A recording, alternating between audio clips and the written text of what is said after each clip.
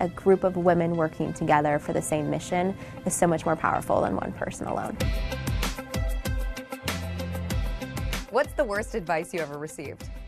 Worst advice I've ever received was to make myself a huge celebrity and not worry about the business behind it.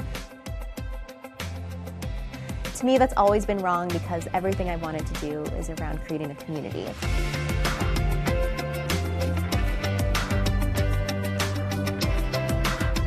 I just feel like a group of women working together for the same mission is so much more powerful than one person alone. How did you respond when you got that advice?